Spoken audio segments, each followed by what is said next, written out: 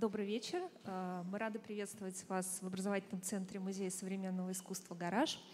Сегодня мы начинаем новый сезон цикла лекций «Несимметричные подобия». А, полное расписание этого нового сезона вы можете найти на сайте нашего музея в разделе «События». Вот. И первая лекция а, этого сезона посвящена двум арт-группам.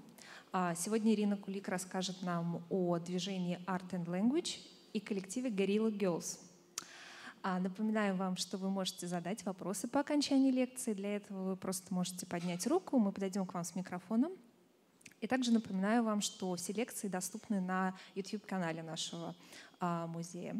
А, передаю слово Ирине. Добрый вечер. У нас сегодня такая эксцентричные персонажи, поэтому у, нас, у меня даже нет фотографий участников обоих коллективов, которые можно поместить на первый слайд. А, это, как вы уже сказали, это американское, американское объединение арт-активисток феминисти, такого феминистического толка Guerrilla Girls, и э, ны, ныне активных, и э, группа э, весьма эзотерических концептуалистов, изначально английских, потом какое-то время англоамериканских, и ныне опять британских, Art and Language. А, и как бы, что, почему мне захотелось объединить, ну, не захотелось, почему я сочла возможным а, объединить два эти две эти формации художественные. А, ну, во-первых, ну, как бы первое, что э, вроде, бы достаточно разнородные, потому что Герилли Герс это действительно скорее вот на грани искусства и активизма, и а, их легче рассматривать как чисто активистскую деятельность, хотя интереснее рассматривать как художественную деятельность. И, но при, при этом это всегда очень понятно, и с очень прямыми посылами, с очень прямыми лозунгами, с очень прямыми фактами э, акции, реакции на те или иные процессы, происходящие в мире искусства, прежде всего, и не только в мире искусства, прежде всего это то, что связано с дискриминацией женщин-художников и цветных художников. А вторая история, как бы, и, ну, то есть такая как бы плакатная, очевидная, активистская команда. А второе, как бы, Art and э, старшее, как бы в данном случае, более раннее объединение, это самый, наверное, самый эзотерический концептуализм, который тоже только только можно себе представить, по отношению к которому и Джозеф Кошут, и даже коллективные действия – это что-то предельно понятное, ясное и даже зрелищное по-своему.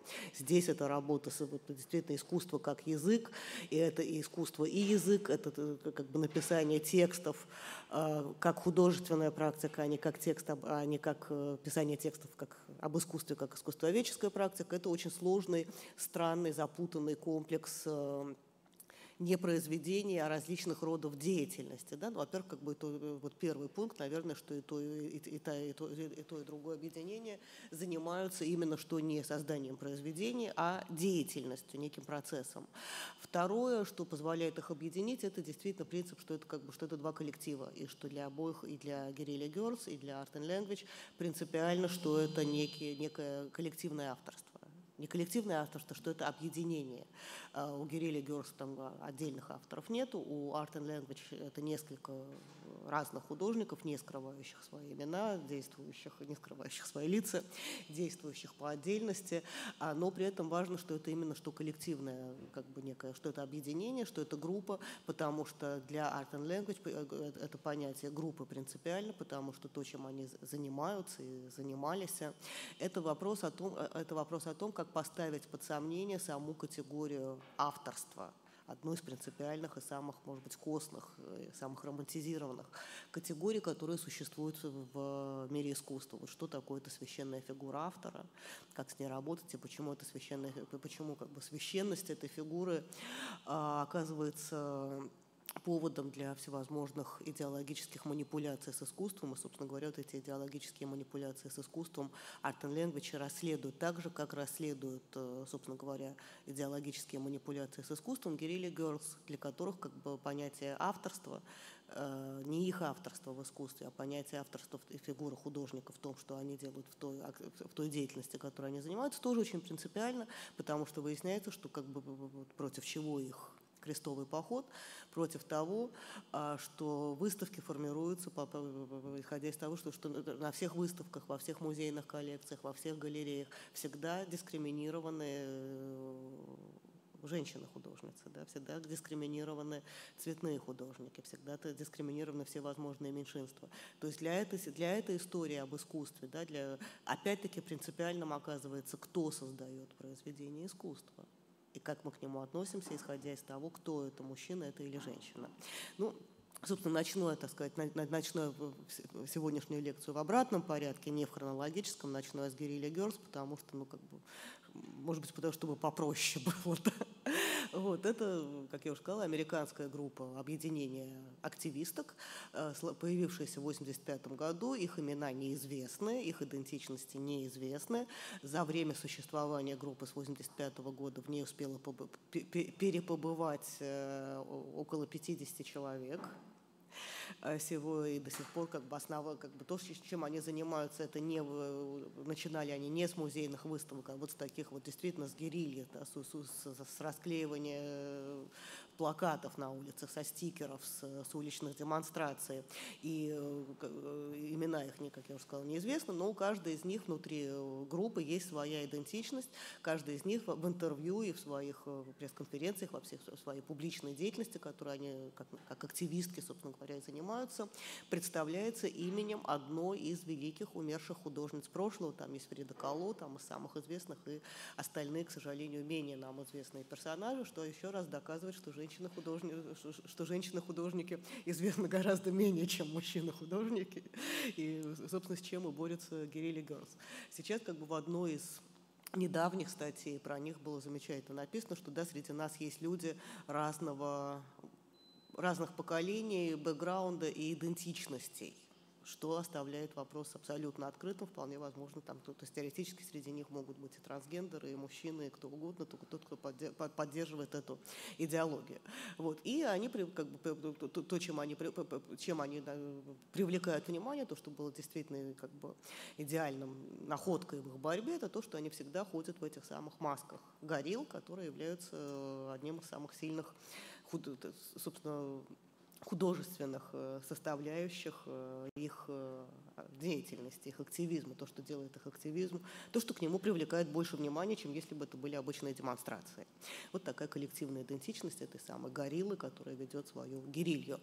А откуда это, как бы, у самой этой, этого образа есть два источника теоретических. Одна, а, а, одна из более-менее официальных версий говорит, что активистки на каком-то из ранних своих этапов творчества кто-то из них то ли оговорился, то ли сделал описку и сказал вместо Герилля, Герс сказал Горилла Герс, и они как бы им очень понравилась эта идея с гориллой, и они ее оставили. Да, как бы, а, отсюда появились эти маски горилл, которых, в которых они выступают, потому что до этого они а, не выступали, да, занимались своей деятельностью субверсивной, как полагается людям, которые занимаются субверсивной деятельностью, они скрывали лица, и они выступали в балаклавах как, как Пусси Райт, да, вот так, который в каком-то смысле их наследницы.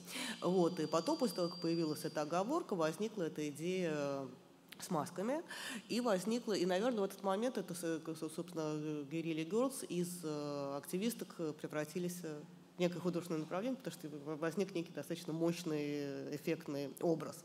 И вторая, более интересная, не очень подтвержденная версия, что сама эта идея женщины в маске гориллы возникла из фильма 1932 года «Белокурая Венера», одного из самых знаменитых фильмов Марлен Дитрих, где Марлен Дитрих играет кабаретную актрису, э, и один из номеров, который она показывает, это очень знаменитая сцена, она появляется в костюме гориллы и показывает ну, можно сказать, стриптиз, да, вот прекрасная блондинка, которая появляется из этого, из-под этой шкуры э, страшной, брутальной, теоретически ассоциируешься прежде всего с такой брутальной маскулинностью гориллы.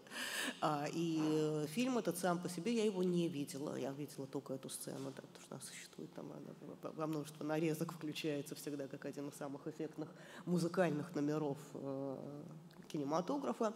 А фильм этот считается, как ни, как ни странно, да, при всей там эксплуатации женской красоты, он считается протофеминистическим, потому что история там о, о том, что а, она вынуждена идти заниматься вот это, как бы, в этом кабаре, потому что ее муж тяжело болен, и она собирает деньги на то, чтобы он смог вылечить, вы, выздороветь. А, и пока он, когда он уезжает лечиться в другую страну, она знакомится с состоятельным мужчиной, посетителем этой кабаре, этого кабаре, который ей покровительствует. И, соответственно, это вот как бы женщина, у которой не может быть выбора, потому что муж отбирает у нее ребенка. Ну, такая как бы история про то, как женщины все время вынуждены быть эксплуатируемыми в этом мире и не получать за это никакой благодарности. Вот. Это как бы одно из, одна из интерпретаций этого фильма, что это такой протофеминистический фильм, невольно, невольно феминистический, и сам этот образ как бы воинстве, как бы женской женственности, которая может надеть на себя доспех вот этой гориллы, да, очень провокационный, очень секси, очень двусмысленный. Он, конечно, совершенно замечательный, и очень хочется, э, и как бы очень трудно предположить, что Герилли Герлс не использовали этот образ, да, придумывая свои горели маски, потому что, тем, тем более, что в своем, в том, как они одеваются, да, в том, как они выглядят, они вполне вот эту свою э, женственность и э, секси подчеркивают, да, при всех этих масках, и дальше там эта игра будет продолжаться. Вот, и Э, впервые, как бы, как бы, по, по какому поводу они, собственно говоря, возникли, когда это движение возникло как движение, возникло оно в 1985 году, когда в Нью-Йоркском э, музее современного искусства МОМА проходила огромная ретроспектива там живописи, современной живописи скульптуры, модернистской живописи скульптуры, там как бы лучшее, что было в современном искусстве, в искусстве 20 века за 50 лет, за 100 лет. Тут такая очень пафосная ретроспектива, во время, о которой кураторы не вполне корректно говорили, что те художники, у которых, чьи работы не взяли на эту выставку, должны вообще задуматься о том, чем ли они занимаются в, в этой жизни. Да, тут такой бест такой. Вот. И на этой выставке из 169 участников было только 13 женщин. И не было ни одного чернокожего американца, например, художника. И это, как бы, и, и эта выставка, и этот, этот фраза из интервью куратора вызвала огромное возмущение у художниц и у представителей национальных меньшинств, что как бы вот мы не виноваты, что нас не взяли на эту выставку, почему мы должны задумываться о своей карьере, а не музей должен задумываться о том, каким образом он формирует эту выставку. И эта выставка вызвала, вызвала демонстрации протеста. И, собственно говоря, с этой как бы, демонстрация это тоже один из э, митинги, это тоже один из э, видов деятельности Гирели Герс, вот 92 год, это уже не, не эти, это, это выставки, э, это манифестация против музея Гугенхайма, по-моему, по каким-то аналогичным поводам, да, что там тоже было недостаточно, как бы не, не, не, несправедливо, гендерная несправедливость была в формировании коллекций, формировании выставок, а, где э, и с требованиями самыми разными, да, где есть эта демонстрация, где есть помимо, собственно, худого требования справедливости в художественном мире есть совершенно традиционная э, для феминистского движения, в особенности в Америке, э, слоган о праве на аборт. Да как традиционной ценности, между прочим, как бы феминистского движения. Вот, и э, с требованиями, да, как где э, вся, вся, эта, вся эта демонстрация женщин, как вы видите, в основном, выходит с вопросом как бы по поводу очередной, видимо, экспозиции музейной. А почему здесь нету художницы Анны Мендиеты? Анна Мендиета – американская художница кубинского происхождения, совершенно замечательная, а, которая очень мало сделала в своей жизни, потому что она погибла достаточно молодой, погибла она при, при невыясненных, не совсем выясненных обстоятельствах. И долгое время в ее, в ее смерти в ее подозревали, что она была убита своим мужем, э, также очень известным художником Карлом Андре, минималистом, о котором мы говорили на одной из лекций. Э, с него, он был оправдан, его судили, был оправдан, с него сняли обвинения, но до сих пор как бы многие феминистки считают, что его оправдали только потому, что он был как бы знаменитый, мужчина, знаменитый художник-мужчина, белый американец э, и э, белый американец-мужчина всегда больше прав, чем э, кубинская художница женщина, да, что это было такое совершенно дискриминационное решение. Вот, о, о чем я ничего не, я не, не знаю, кто из них прав, да, я не, я не американское правосудие, потому что как бы, как бы не, не, не, не, не знаю да, настолько подробно детали этого дела. Вот, и, собственно говоря, вот дальше начинается это активизм Гирилли Герц, которые э, рассылают всем музеям э, очень точный подсчет, сколько на какой выставке у вас, какой у вас, так сказать, состав выставок только три, три белых женщины, одна цветная женщина и ни одного цветного мужчины на 70, 71 э, художника, представленных на этой выставке. Что это, собственно говоря, за безобразие? Пересмотрите свои взгляды на формирование выставок формирование коллекции. А, объекты желания, да, это объекты, выставка объекта желания, да, там все-таки выбрана как раз для постера фотография работы как раз женщины Мэри Топпенгейм, э, знаменитый меховой завтрак, из которого из этих мехов выглядывают эти самые маленькие гориллы, э, с требованием, в том числе переназвать выставку не, объект, не, не объекты желания в современном натюрморте, а объектом мужского желания да, среди, среди кураторов музея. Ну, это, это традиционно, как бы, что, что женщины зарабатывают э, две трети от того, что зарабатывают мужчины, а женщины-художницы зарабатывают одну треть от того, что зарабатывают э, мужчины-художники. А, и одна, одна, один, как бы, у них были коллаборации всевозможные. Была такая коллаборация, это постер, который был сделан вместе с знаменитой концептуалисткой Дженни Хольцер, ее шрифтом, да, ее фирменным шрифтом, ее, как бы, ее это, формате. Ну и, собственно говоря, вот одна из тоже первых э, э, проектов э, Гирили Girls, это вот такие вот письма, которые они дорогой, дорогой, дорогой коллекционер, дорогой дядечка-коллекционер, в котором они спрашивают, какой, почему, почему, собственно, в вашей коллекции недостаток, почему вы не покупаете в достаточном количестве работы женщин-художниц, это как бы не, не, не порядок, да, это не почему, почему вы считаете, что они заведомо хуже. И при этом это очень трогательно оформленное письмо, которое написано так, как, как, должно, как должна писать девочка, на розовой бумаге, с цветочком, да, вот совсем это с пародией на всю ту стереотипную женственность, которую ожидают даже от, от, от горилл, да, и от герилья. А проект, который не, не, так сказать, не, не утрачивает своей актуальности, потому что такие письма посылаются вот как бы уже в 2008 году, когда появляется и крепнет китайский арт-рынок, значит, китайскому коллекционеру на китайском языке, тоже с таким замечательной этой лапой с накрашенными красными коготками, вот, э, там, каким-то конкретным личным коллектором, коллекционером. А, и что забавно, что, естественно, эти самые, э, что, естественно, эти, музеи, эти, эти письма, написанные уже сейчас, да, известные арт-группы, становятся предметом коллекционирования, становятся частью коллекции этого коллекционера, немножко, может быть, изменяя количество работ э, художниц в его собрании. Вот. Но начиналось это как бы помимо писем, это были вот такие вот расклеивание расклеивание постеров. Э, э, это все время один и тот же вопрос, э, одни и те же вопросы. Сколько, сколько, сколько женщин есть в, тех же, в такой-то коллекции, в таком-то году, сколько персональных выставок было у женщин-художниц в каких галереях, сколько галерей показывают больше, менее чем 10%, 10% художниц в своих коллекциях. И такой идет как бы постоянный мониторинг того, что происходит в музеях. Вот за 86 год э, собрание галерей. Э, список всех нью-йоркских, видимо, галерей, вот сколько у них там э, было выставок, да, сколько было, сколько было работ. А, только четыре коммерческие галереи в Нью-Йорке показывают чернокожих женщин. Только одна показывает больше, чем одну чернокожую женщину, в свою, художницу в своей галерее.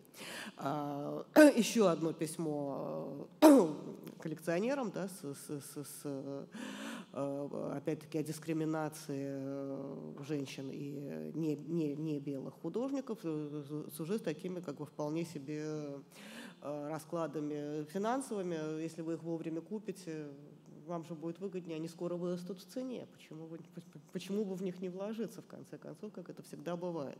А, вот. Э, ну и вот как бы со, со, со всеми этими рассылками э, и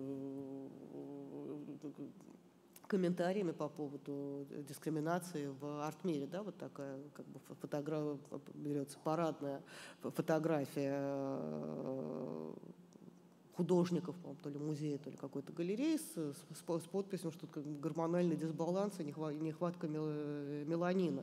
То есть нету женщины, нету чернокожих, а, где э, Э,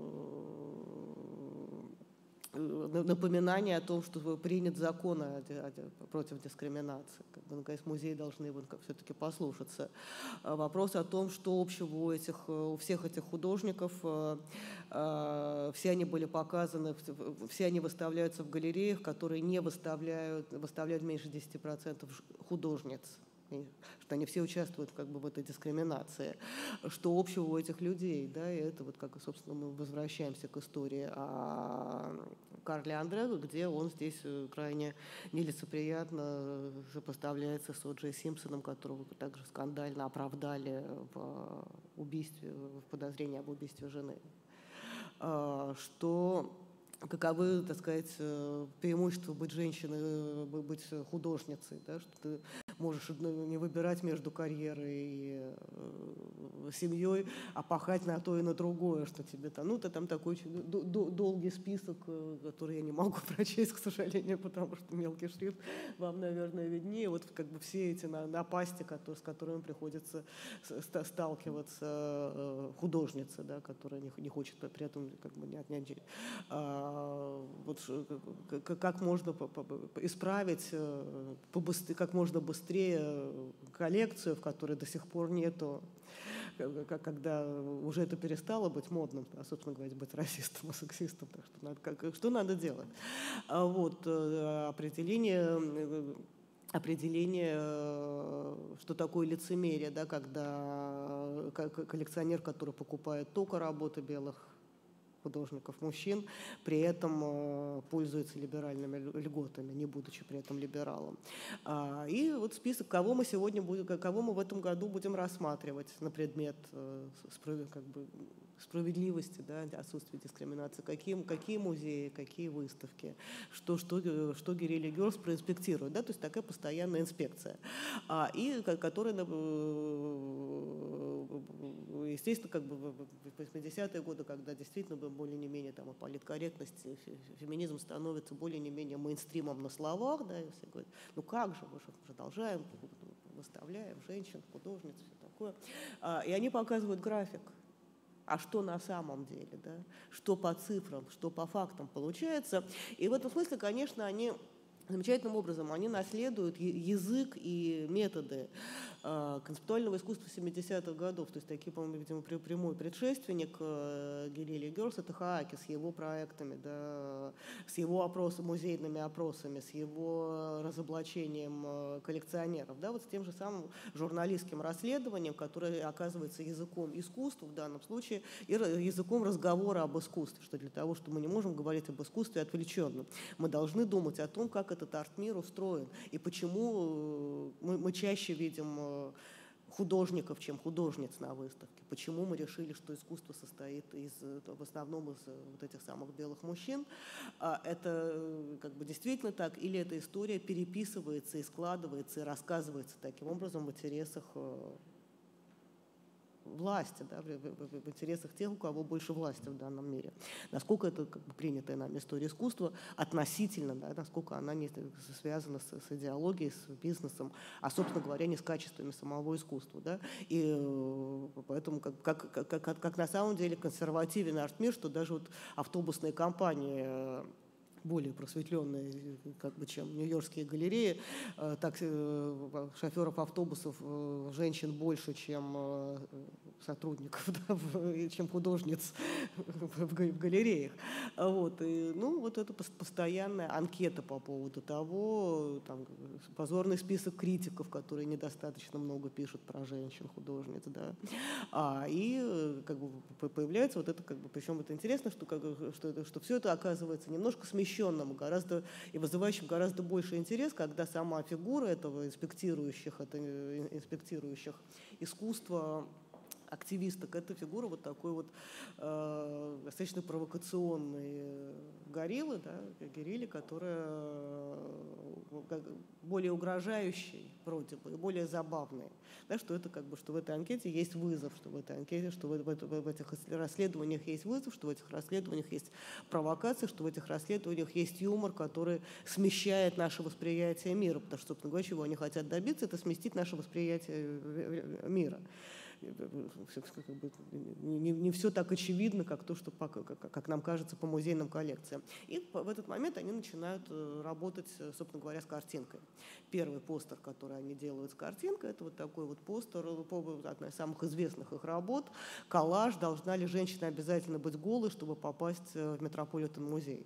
Откуда, откуда возникает эта история? От того, от, от, от того, что они там сходили в Метрополитен, один из самых больших музеев, не современного вообще музеев, художественных музеев, и посчитали, сколько там в коллекции женских ню на полотнах, и сколько там в коллекции женщин, женщин-художников. Ну и там, естественно, там цифры вот здесь вот приведены, и, из этой истории, из этого подсчета появился вот этот самый постер, где есть обнаженная Энгра, то есть такое самое идеальное женское ню, самое знаменитое женское ню в истории искусства, которому приделана вот эта вот возмущенная, рычащая голова гориллы.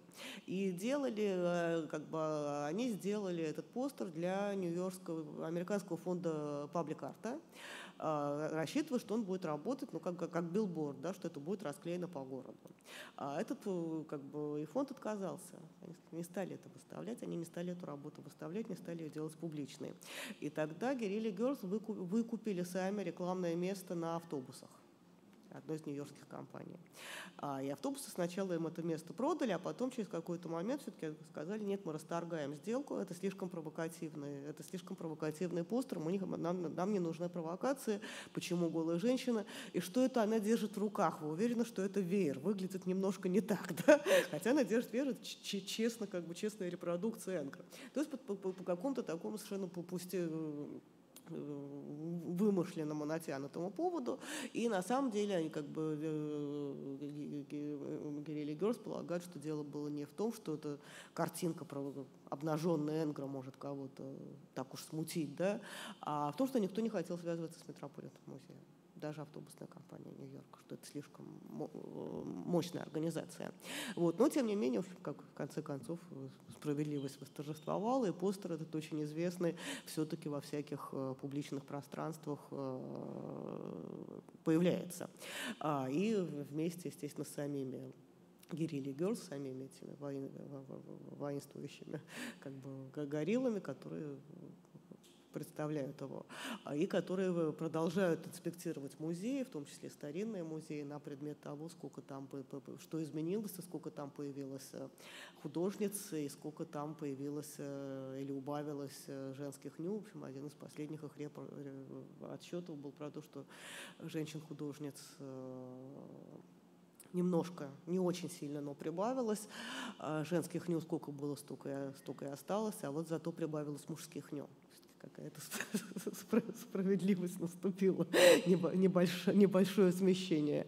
Вот. И э, как вот, э, вот это самое, что борьба все время продолжается, что что бы ни делалось, как бы, как, как бы нам не казалось, что, э, что, что все, что все по-прежнему так же, сколько бы, насколько бы официальной не становилась риторика политкорректности, все равно в 1997 году по-прежнему как бы не, все не очень меняется. А, что на Венецианской биеннале, а Венецианской биеннале 2005 года как раз это была биеннале, которую, по-моему, впервые основной проект делали кураторы женщины, поэтому это было очень профеминистская выставка, как раз основной проект Венецианской биеннале, как раз истории рассказать, представить историю искусства после, 20 века, там, последних 50 лет, так, чтобы в ней не были одни сплошные белые мужчины, да, чтобы в ней были женщины, чтобы в ней были меньшинства, как, как, как, как, бы, как она может выглядеть. Но при этом в 2006 году они все равно делают, что такое женщина-художница в Венеции, берут постер, по-моему, это из, из фильма «Феллини. Сладкая жизнь», да, вот с такой, как бы, самой, что ни на есть, эксплуатационной сексистской картинкой. А, и вот, как бы, опять-таки, их активизм в Венеции продолжается. А, так же, как и в, как, в каком-то моменте их начинает занимать не только история искусства, но как раз использование ки кино лексикона истории, использования образов и риторики желтой прессы. А, вон как, как, какой как кошмар в National Mall. National Mall – это э, Вашингтонский музейный квартал, да, который да, находится там же, там, буквально там между Капитолием и Белым домом. Там же на, на, на этой же линии стоят все главные вашингтонские музеи, в том числе музей современного искусства. И вот это как бы все вместе, то есть такое место власти, которое интегрировано с э, местами главных американских а, арт-коллекций, называется National Mall. Вот почему там все как бы тысячи женщин томятся в подвалах National Mall. А о чем идет речь? Речь идет, естественно, о том, что даже если в собраниях музеев, музейных собраниях есть э, работы художниц, они лежат в запасниках они включаются в основную экспозицию, поэтому все эти женщины оказываются узницами, томящимися в подземельях национального мола, а, с требованием освободить э, значит, из, из, из запасников э, женщин уже не только в национальном моле Вашингтона, но и в, в европейских музеях, а, и постепенные такие, как, как бы что вот, наконец, мы панически тоже под желтую прессу стилизованные заголовки, что вот музеи сдаются радикальным феминисткам, какой ужас, остановите это все. Но вот там, там уже что-то начало, происходить, да, вот они прям уже мужчинам угрожают, тоже это все как бы делается достаточно иронически и абсурдистски, чтобы, опять-таки, это все, с, с, с, с фигурой гориллы, естественно, участницы группы с большим удовольствием фотографируются с, этими своими произведениями, вообще являются как бы носителями этой идеологии, да, а не просто людьми, которые составляют эти списки. А вот, и вот эти небольшие подвижки, давайте посчитаем, что же изменилось с 1985 года по 2015, по, по 2015, да не так уж и много, да, найди 10 отличий. Один, два, ну, в общем, совершенно не принципиально, да, при, все, при всем, при всей победе, как бы вроде бы победе политкорректности, на самом деле ничего не меняется. И вообще, насколько там несправедлив арт-мир, да, искусство слишком дорого, это один из главных слоганов, да, который здесь вот так проецируется. А откуда берется этот слоган, это уже обращение к немножко другой аспект борьбы, это обращение уже к, музеям, коллекционерам и галереям, э, которые на, билбордах, да, которые начинаются, написаны в стиле анонимной записки, да, вот, с вырезанными из газеты буквами, что, конечно, мы понимаем, что искусство очень дорогое, да, даже оно даже не всем миллионерам карману. Поэтому понимаем, почему вы не можете нормально платить своим сотрудникам, дорогие коллекционеры, галеристы и музейщики. Да? Искусство очень дорогое, но сотрудников-то надо нормально оплачивать в конце концов. И это тоже уже такой социальный пафос о том, что мир искусства это, такой, это тот же мир, в котором, для которого должны работать те же законы социальной справедливости. Да? И как и Хааки, в данном случае Герри и Герст продолжают это исследование, да, что музейный мир, мир искусства не является каким-то миром отделенным отделенным от социума, что в нем, что это не башня и слоновой кости, что музей это не то место, куда ты приходишь, метрополитен, полюбоваться прекрасными картинами, чтобы забыть о том, что творится за стенами этого музея, все там несправедливости, которые, которые тебя возмущают. Нет, это тот же мир, это часть этого же мира, и никакого прекрасного искусства, отдельного от э, власти коллекционеров, власти денег, идеологии и, и в конце концов, в том числе этих плохо оплачиваемых музейных сотрудников не бывает, да, что это всегда часть этого одного и того же большого мира с одними и теми же проблемами. А, и деятельность Guerrilla Girls не связана, как бы у них несколько подразделений, в том числе в основном это, конечно, арт-группа, и это деятельность связана с музеями и с галереями, там есть театральное подразделение, а, опять, опять трагедия на Бродвее, и это не электро, это дискриминация актрис и режиссеров. Да? А вот как, как, как объявление стилизованное под объявление фойе театра. В этом театре запрещены, запрещены фотографии и записывающие устройства, а также постановки пьес женщин, авторов драматургов. А, ну, вот еще одна история про то, как, как прекрасно быть женщиной-драматургом в данном случае тоже, чего от, от, от, от чего вы можете свободно, вам не нужно покупать э, там, по-моему, было, что вам не, не нужно покупать перчатки каждый раз, когда вы идете на премьеру, потому что на премьеру вас не зовут, у вас их не так много, но, например, да, какое облегчение, не нужно, тратить, не нужно тратиться на туалеты. Вот. И, ну, собственно, такая, да, мужчина, женщина, такие, как бы, что, что это такое. И следующий, как бы, естественно, объектом инспекции Гирили Герс был, э, становится Голливуд с его нравами, э, тоже с, с э, публицистической, да, активистской кампании, которую они там проводят накануне Оскара, накануне, когда начинается гонка за Оскаром, а где там достаточно много разных историй. Это одна из историй, в которой тоже фигурирует еще одна версия уже тоже не обнаженный Энгр, но такая же версия э, секси-гориллы, э, победоносной. Да? Вот мне очень нравится, что они выбирают образ одновременно женщины провокационной, монструозной, победоносной в том числе. А вот э, там то, то, что происходит в кино, то, что происходит в, в культуре, мы боремся с тем, что мы со стереотипным представлением женщины, да, что, мы, что я там не... Э, э, я боюсь, что моего знания английского разговорного не хватит, но что вот я не, не, не то, что ты представляешь, я не, не, не, не, не, не, не фан-фаталь, я не гейша, я не девушка из соседнего, соседнего двора, там, не, не хорошая католичка, ну, там, не, не, не, не сучка, не, не, то, не, не то, не другое, не третье, то есть огромный список вот всех тех стереотипных ролей, которые могут быть приписаны женщине в современной культуре.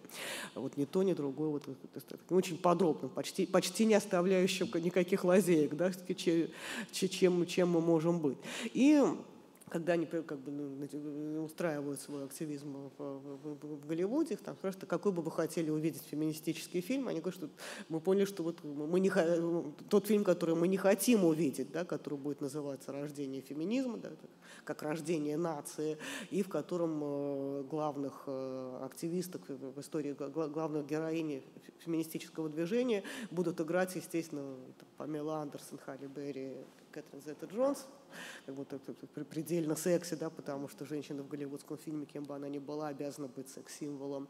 А, э, и участвовать в этом, участвовать в этом должен, и участвовать в этом, как быть там продюсером, режиссером, автором саундтрека должны быть те мужчины, которые известны более всего вот как раз этой стереотипизации женщины сексизмом. То есть там должен быть Оливер Стоун режиссером, да, и, по-моему, Эмином автором саундтрека, да, чтобы вот, то есть это такой кошмар феминистки, что будет, если Голливуд снимет фильм про феминизм по, по существующим голливудским канонам.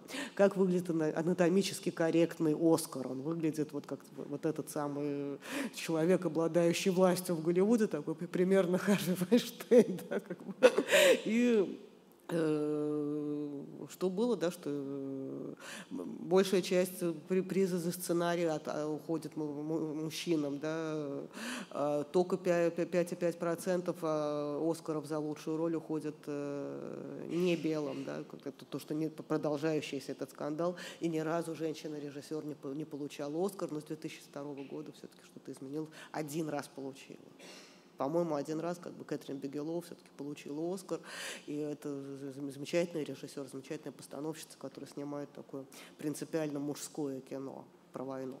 Так, если кто-нибудь, я думаю, что вы, если кто-нибудь знает ее фильмы, да, такое очень почти нарочито мужское, да, слишком. Да.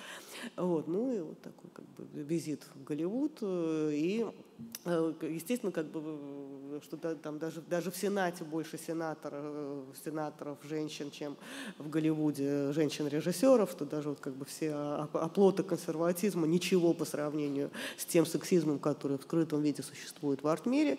А вот такой вот как бы опять-таки история про освободить женщин, томящихся в подвале, в данном случае э, такой Кинг-Конг, да, Квин-Конг, да, как они, вот эта горилла, которая требует свободы женщинам-режиссерам.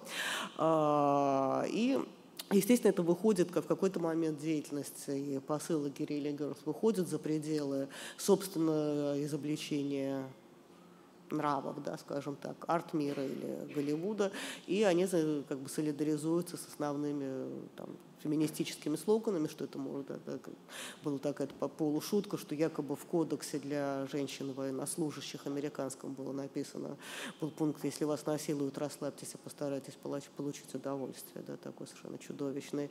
И здесь они говорят, да, естественно, а что нам еще остается, потому что э, не, не расследуются эти дела, да, ну, как бы у нас тоже, да, как бы, что, что такое, вот за, за, за что она, женщина военнослужащая, рискует своей жизнью, да, в, при сексистском правительстве. Ну и там, как бы, это, естественно, это выходит, какой-то выходит за пределы отстаивания только прав женщин, это права бездомных, это права а, это история про вообще про, про, про дискриминацию, да, вот какие у нас есть праздники в году, там э, день Э, месяц э, истории афроамериканцев, там, так далее, и тому подобное. А что происходит, когда нету этих праздников? Что происходит все остальное время, все остальные дни? Да, дискриминация. Ну, это тоже такой как бы, слоган, с которым они работают.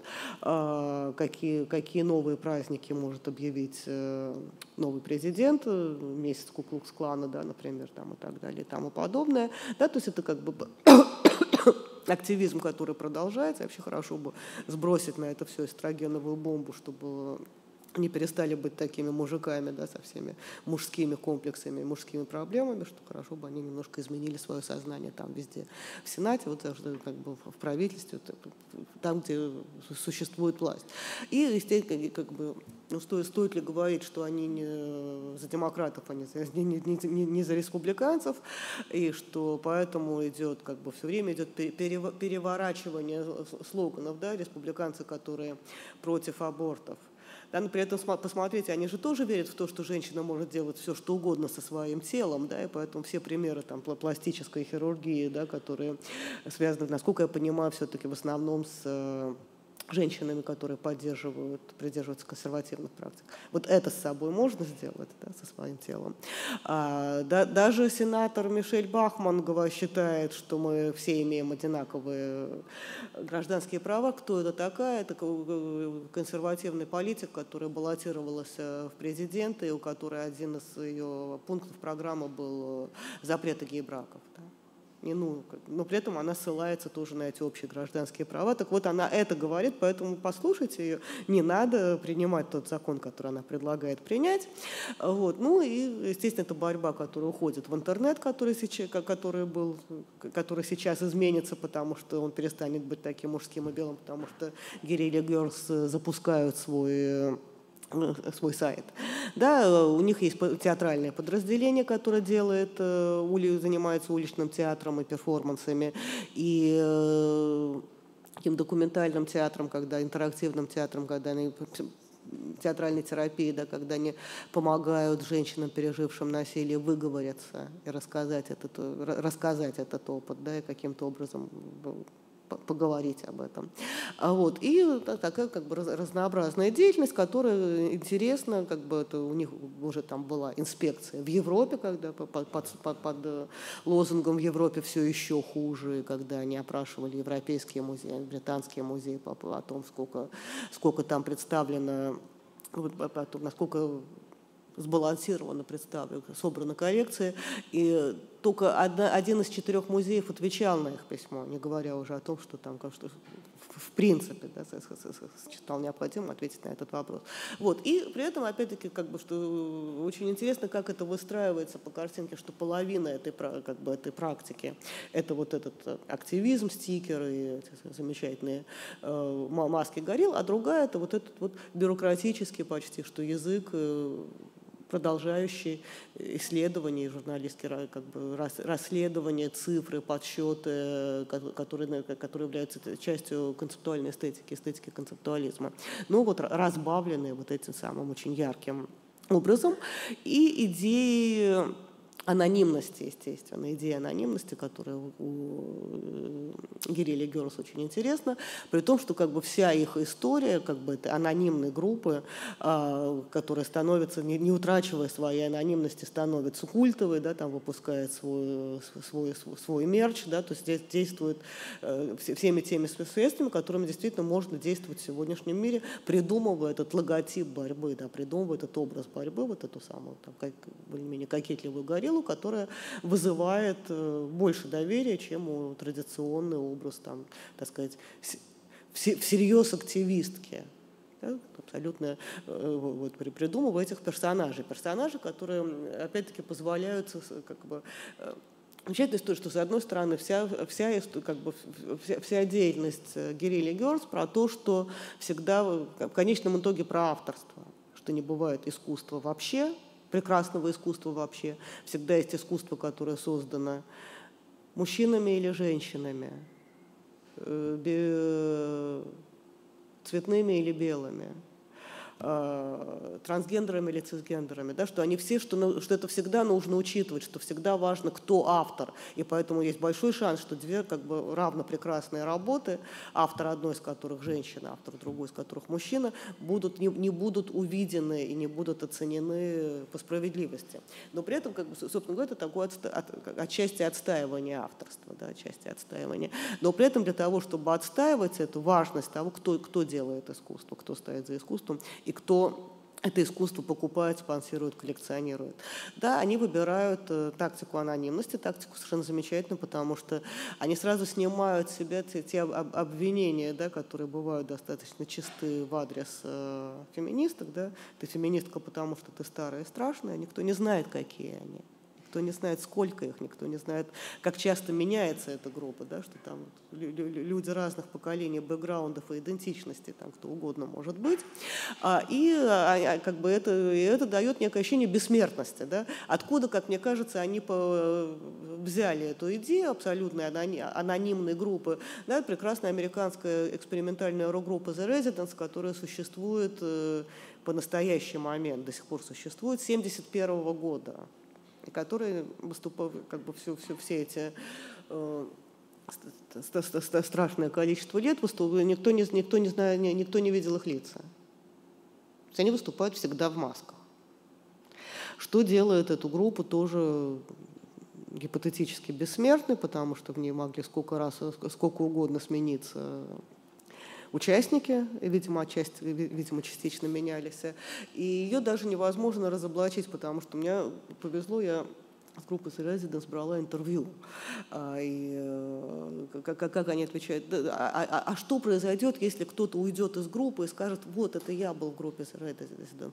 А какая разница, он уже не будет группой The как только он оттуда уйдет. Группа The это то, что, чего нету ли. Вот, как бы, когда у Гирили Герс спрашивают, а кто-нибудь знает вашу идентичность? И там разные участницы говорят, ну да, там, мой, мой, партнер, мои близкие друзья, моя собака знает, кто такой, кто я на самом деле.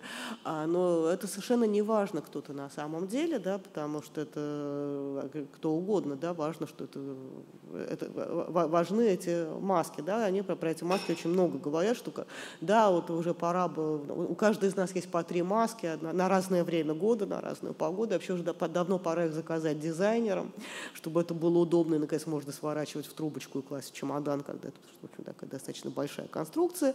Но всегда выступают вот это выступают не конкретные женщины, у которых участницы этой группы, которые вполне возможно кто-то из них э, в другой жизни известные художницы, да, или, не знаю, э, режиссеры или писательницы, кто угодно, арт-критики, никто не знает. А, кто, а, а, а кто-то, никто, а, там, преподаватель, кто, кто угодно. А важно именно вот эта коллективная идентичность, которая выступает, собственно говоря, за то, что авторство важно, выступает абсолютно анонимная группа, никто не знает, ну, там, в, том, в том числе расу, да, кто, они. Вот. И в каком-то, в каком-то смысле как бы это Герилли Герс может стать кто угодно. Это могут быть все вот такие проекты, которые они делали во время съемки да, с недавних воркшопов, которые они, по-моему, в Лондоне делали, когда кто угодно мог прийти на их воркшоп и задать существующие, волнующие его гендерные вопросы, ну и вопросы, которые вообще хотят задать этому музею и, и миру, а, взяв эту горилью маску и как бы представившись от лица, вот мы, мы все можем быть эти Guerrilla Girls, мы все можем как бы принять участие в этом проекте, потому что этот проект не про звездность, в отличие от всех остальных проектов, и вот такой постер, да, а, мы, мы наконец-то мы выяснили, кто такие Герс, а вот все подписавшие это протокол, как бы это все такая коллективная идентичность. Ну, собственно говоря, как бы Герилли Герс, это, как я уже говорила, да, что это такой язык и проблематика в общем, концептуального искусства, которое превратилось в активизм, именно потому, что они используют язык и проблематику. Все-таки искусство – это активизм, который вызывает э, интерес прежде всего, доверие и симпатию. А, вот, а началось вот как бы группа, собственно, собственно, Art and Language, британская группа, которая образовалась в 1967 году. А, эта группа также исследующая ну, на, на, на совершенно другом и на более раннем витке, исследующее то, что, как бы, каким образом искусство существует через описание искусства, каким образом, кто решает, что это является искусством, а это не является искусством, каким образом искусство зависит не от самого себя, а от окружающей его, постулирующей его а, политики, идеологии, социума и так далее. А, ну, как бы группа образовалась в кто-то пишет в 67 году, кто-то в 68 кто-то в 69-м, а, собрал это в английском городе Ковентри, но так или иначе как бы предпосылками для этой группы стали отдельные проекты, за которыми занимались разные ее участники. Йен Берн, австралийский художник, э, живший в то время в Лондоне, который, например, который шел, как, э, что, что, что было от, от мейнстрима того времени, от э, абстрактного искусства, вот, э, геометрической абстракции. Именно абстрактное искусство будет тем искусством, единственную модель которого будут, право которого на единственность как модели искусства будут оспаривать концептуалисты, в том числе Art and Language. Начинали они сами с этого, а, но в какой момент, а в какой момент абстракция превращается в концептуальное искусство, то он делает такие как бы такая замечательная геометрическая абстракция 50-х, 60-х, где у него все цвета пронумерованные.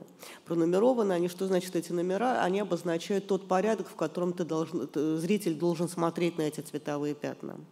Что, пожалуйста, сначала посмотрите на черный, и только потом на бежевые, и только потом на красные, и только потом на желтые. И когда ты и это то, что вызывает абсолютный диссонанс, как бы, ну, за, замыкание восприятия, потому что он специально выбирал, как бы он знал как бы психологически, что первый цвет, который бросает, что ты другой цвет выберешь спонтанно красный, наверное, первый, да, и тебе, и тебя пытаются заставить задуматься о том, в каком порядке ты вообще воспринимаешь цвета, и более того, понять, что когда ты их пытаешься воспринимать в том порядке, в котором их предлагает воспринимать художник, что-то не идет, да, что-то не получается, ты испытываешь дискомфорт, у тебя разрушается автоматизм твоего, собственно говоря, акта смотрения картины, на котором построена в тот момент казавшееся традиционным, да, единственно возможным восприятие искусства. Он продолжает, там, он делает синий рефлекс, он делает такой, собственно, монохром э, синее отражение такое монохромового Кляйна, но настолько, настолько отполированные поверхности, что зритель не может его видеть как монохром, он видит в нем свое отражение и начинает, естественно, рассматривать свое отражение, как, ну, я думаю, что все мы с этим сталкивались, когда у нас есть в музеях картины под стеклом, которые очень сильно еще бликуют, да, хочешь не хочешь, а ты начинаешь видеть себя, не знаю, там, поправлять волосы, да, это такое автоматически происходит. И вот эта история, да, того, что, никак, что, никакой, что никакая монохромная картина, никакой этот Евкляйновский абсолютно синий не может существовать вне зрителя, который его смотрит, не может существовать сам для себя и в себе, начинается его, собственно говоря, то, что Берн делал, то, что он внес в Артем Гревич, начинается как, как тематизация самого проблемы акта видения, зрения, восприятия, зрение, которое тебя всегда, твое произведение, которое тебя возвращает твой собственный э, взгляд, он начинает работать с зеркалами. Да, вот такие как бы нет, шесть зеркал, каждое из которых помещено под разное количество слоев прозрачного стекла. То есть у тебя есть одинаковые зеркала, но отражение в них незаметно разное. Да? Вот это под одним слоем стекла, это под тремя слоями стекла. Что-то меняется, отра... зеркало перестает быть, собственно, зеркалом. Может быть, зеркалом, на которое написано Э, написана цитата из философа Дэвида Юма, ни один объект не предполагает существование других объектов, но при этом предполагает, вот ты видишь себя. Это может быть, ну вот просто вот что ты видишь, фотографию, прозрачную раму, зеркало, закрашенное зеркало. Можешь ли ты посмотреть сквозь э, э, стеклянное, сквозь, сквозь кусок стекла, если ты видишь сквозь него только белую стену, как бы насколько это взгляд сквозь. Каким образом эти игры с зеркалами, вернее, игры не с зеркалами, а с восприятием зрителя, с глазом зрителя может быть построен. Что такое там э, как может быть работа с дупликацией, с, с ксероксом, да, вот бесконечное исчезающее, изменяющееся, распадающееся ксерокопированное изображение пустой страницы, которая перестает быть пустой. А, как бы, и э, Второй художник, с которым, как бы, который тоже входит в Art and Cambridge впоследствии, понятно, что они ну, как бы, начинают работать вместе, Майкл Болдин, потому что он работает тоже с, с теми же самыми зеркалами. Не, не, не, когда он выставляет зеркала, называя их э, не на безымянная картина, картина без названия, а, и занятно, что как бы, при этом как, как-то не снимают, как, как, как, как, занятно, что происходит как бы, с этими с фотографиями. В данном случае, естественно, это работа э, одного из основоположников and Language, 1965 года, классика, где она, где она висит, она висит в музее. Что в ней отражается? Фотограф, который снимает, естественно, всеми силами пытается не влезть, не влезть в это зеркало и не сделать свой портрет, как бы правильно делает, пытается оставить эту, эту, эту картину пустой что в нем отражается, в нем отражается произведение искусства. Поэтому в любом случае это зеркало окажется зеркалом, в котором отразится либо зритель, либо другое произведение искусства. Здесь, поскольку это музей снималось, вот там прекрасным образом там фонтаны отражается. То есть отражается, в общем, вполне не безымянное, а вполне известное произведение искусства. Это тоже один из эффектов этой работы. Либо в нем отражается ну, зеркало в зеркале, да. Вот что, что, что, что, что за безымянная картина, что за картина без названия, на которую мы смотрим. А еще один из участников, Мэл Рэмстон, а, он работает как бы тоже с монохромом, там, с наследием черного квадрата, что такое черная живопись, которая вот просто одна черная полоса, что такое два черных квадрата, наложенные один на другой. Можем ли мы, мы увидеть там второй черный квадрат? Что такое как бы черный квадрат, как, как вот эта черная краска, не как монохром, а как автоматически мы воспринимаем, что-то за этим скрыто, да, вот как какая-то недавняя была история, за черным квадратом обнаружилось фигуративное изображение, такое как бы, как бы наивное восприятие, наверное, там что-то под этим есть, наверное, абстракция – это что-то, что от нас скрывает картинку привычную, это такая логика восприятия абстракции. Вот. Что такое стопроцентная абстракция, вот из чего она состоит, да, 80%, 83 того процента, 17 процентов того, вот всевозможные формулы этого самого абстрактного. А почему и как, какими они могут быть? И дальше как бы что-то, почему все, почему они так занимаются именно этой историей с абстракцией?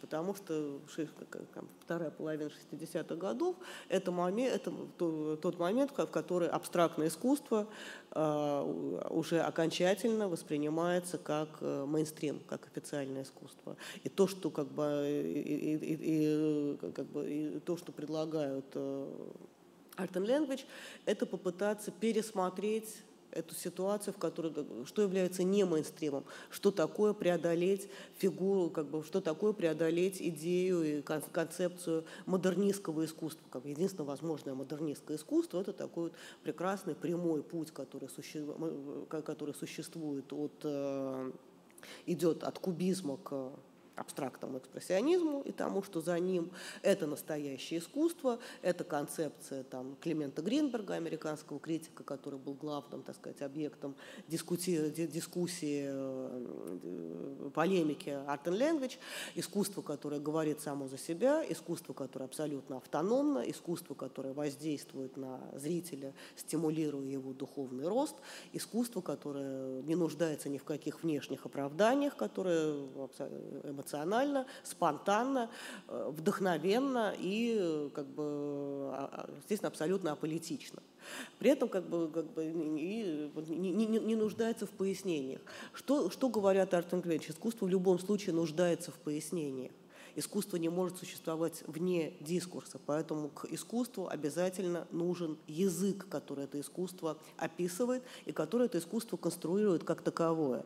Что, почему это происходит именно в 60-е, почему важна именно ситуация с абстрактным экспрессионизмом, потому что каким бы это искусство не было в своих интенциях, к этому времени оно становится не то что мейнстримом, оно становится официозом.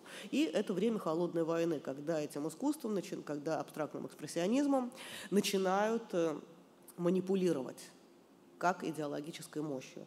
Да, вот э, и после смерти Полока, в основном полуковское искусство, знаете, каким-то негласным образом назначается символом свободы творчества в демократическом мире. Той свободы творчества, которая не существует в социалистическом мире. Потому что как раз в это время Хрущев очень вовремя разгоняет абстракцистов в манеже, создавая вот этот прецедент, что вот как бы нацисты и советский мир разгоняет устраивает охоту на абстракцию, да, это дегенеративное искусство, это там, абстрактисты и пидорасы Хрущева, а у нас есть абстрактное искусство, у нас им можно заниматься, вот у нас есть полок, несчастный самоубившийся, спившийся, погибший, ну, это не самоубившийся, спившийся, да, разве разбившийся на машине полок трагический, который оказывается символом свободы искусства в западном мире. И выставки полока начинают активно вывозить на вы... Э, его работу показывают на американской выставке в Сокольниках, знаменитой, в том числе в Советском Союзе. И его, как бы, естественно, помимо его воли, назначают вот этим самым знаменем э, свобода творчества, что никак не говорит о том, что Полок плохой художник, но говорит о том, как легко это искусство, которое само себя отказывается интерпретировать, оказывается объектом манипуляции, оказывается объектом идеологических игр. То, что отстаивают, как бы, то, что отстаивает Театр что вот эту модернистскую ситуацию, фигуру искусства, которое спонтанно, понятно всем, да, способствует духовному росту, является проявлением свободы, что ничего такого не существует.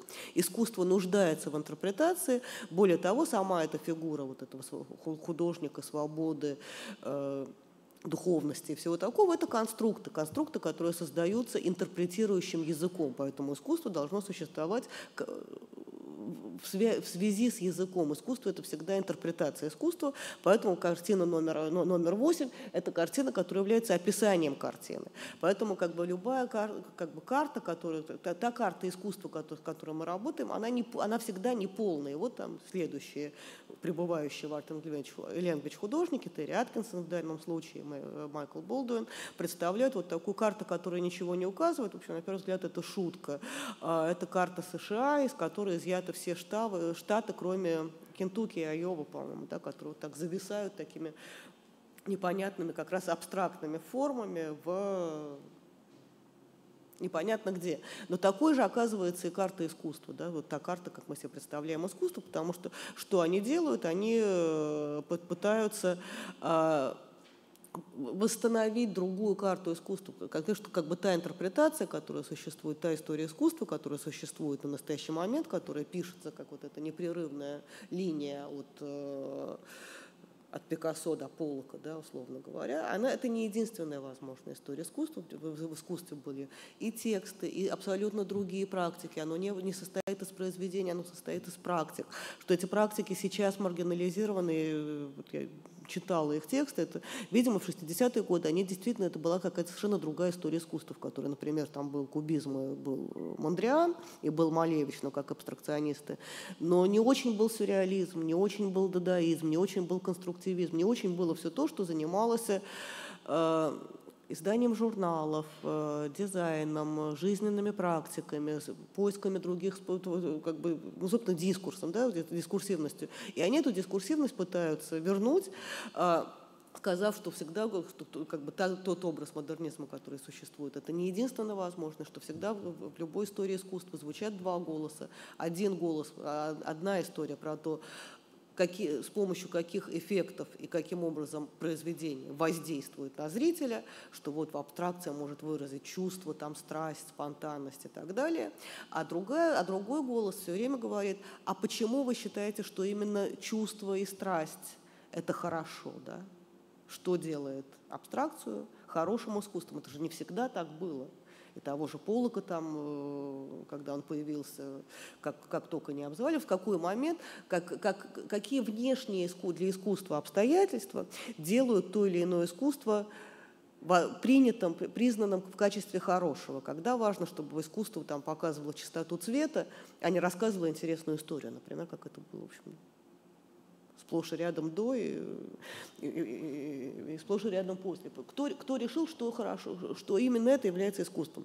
То есть то, чем занимаются Art and Language, как они сами себя определяли в какой-то момент, это эпистемологическая инквизиция, по-моему, да, вот что определяет конфигурацию знаний. А, и а, занимаются они этим тоже в такой как бы абсурдистской форме. Вот вам черный квадрат, а, который называется секретная живопись. Да, там что-то спрятано под этим слоем, но только автор об этом знает и никому не скажет. Как бы что-то, вот, как, как, как, какие, что это такое.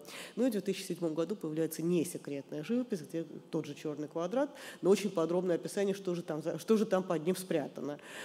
Гарантированное и не гарантированное. Да, э, картина. Что делает, как бы, что делает произведение искусством, произведение, как бы, произведением искусства, насколько это условно эта граница. Да? Естественно, как бы, то, чем занимаются, как бы, каким образом они разрушают эту фигуру, да, модернизма и модернист, как, бы, как, бы, э, как он тогда существовал, эту модернистскую парадигму, перепридумывая ее, разрушая, во-первых, что как бы начиная заниматься дискурсивными практиками, начиная обсуждать это, начиная сдавать журнал. Собственно говоря, Art and Language, первое, это не, название художественной группы, это название журнала, который постоянно издавался. Первое его издание называлось, так и называлось журнал концептуального искусства, а, но потом как бы концептуальным искусством стало слишком много чего называться, и как бы журнал стал называться просто Art and Language, как бы про то, что в искусстве обязательно есть язык.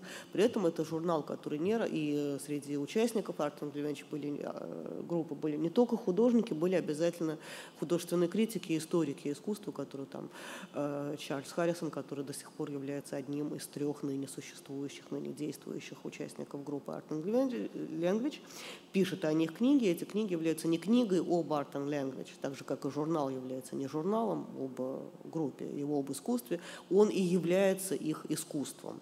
И в этот момент, как бы такой самый радикальный, причем это не конкретная поэзия, да, не, не визуальная поэзия, это не литература, это не художественная критика, это не тексты об искусстве, это и есть искусство, потому что искусство должно заниматься не созданием произведений, а исследованием того, что делает возможным эти произведения, что делает их считываемыми или не считываемыми, что стоит за пределами искусства, что в конечном итоге манипулирует этим искусством, ну, собственно говоря, что и называется эпистемологией.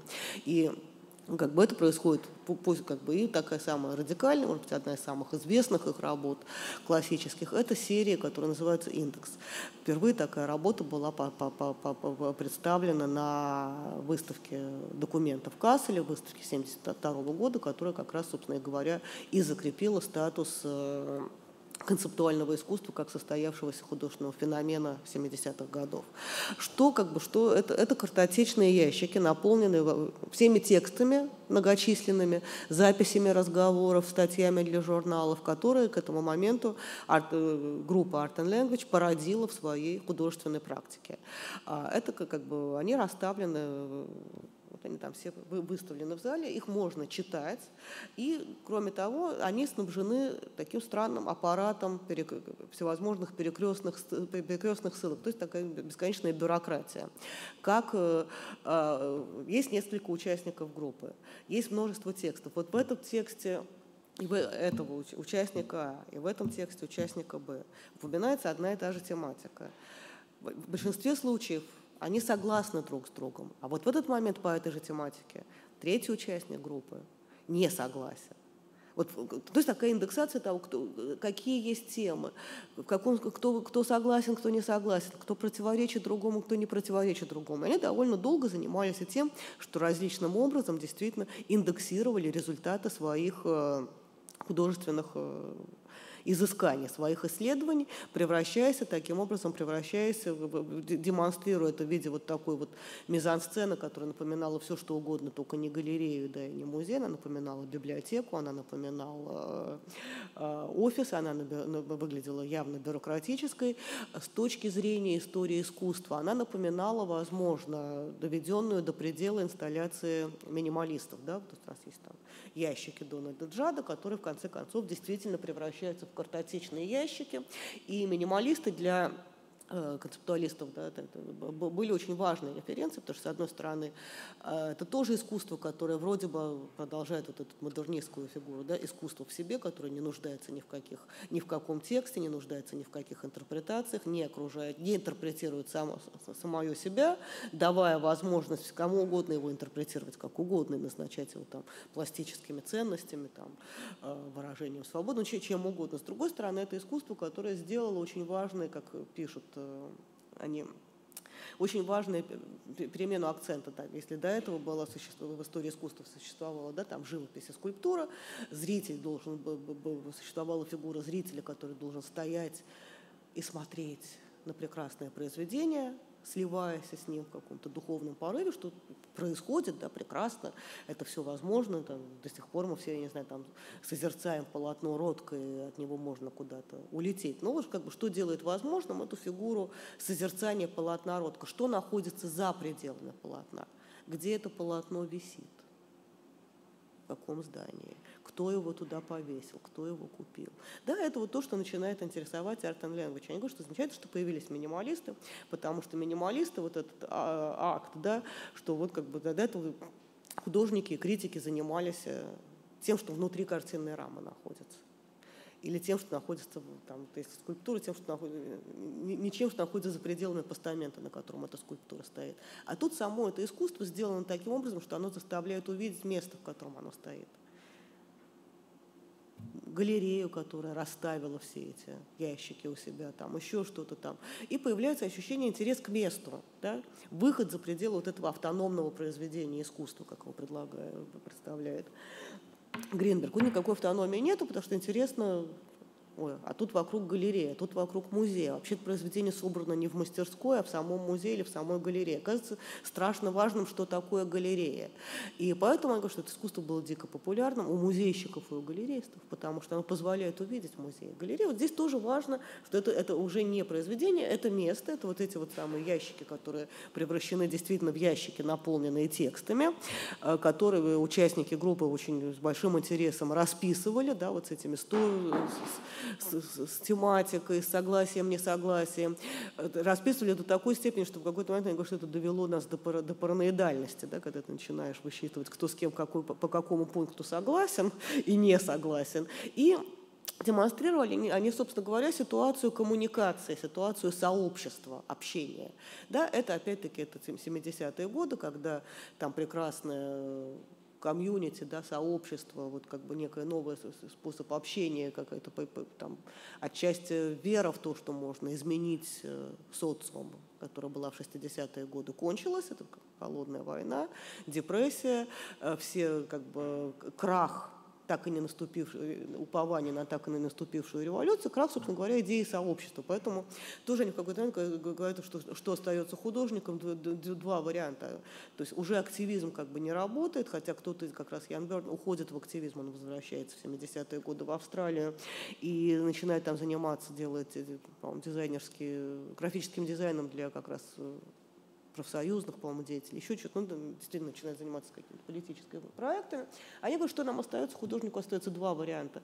А, академия или богема. Причем богема не как социальное, а как психологическое состояние. Вот они выбирают это состояние академии, исследования текстов, исследования, которые делают собственно язык искусства непрактикуемо в таком случае, ни к чему не приложим, вот такой как псевдоакадемизм, э, достаточно для многих из них э, тупиковый, да, потому что это такой как бы нервный срыв модернизма и невозможно сделать искусство, невозможно понять, что ты делаешь.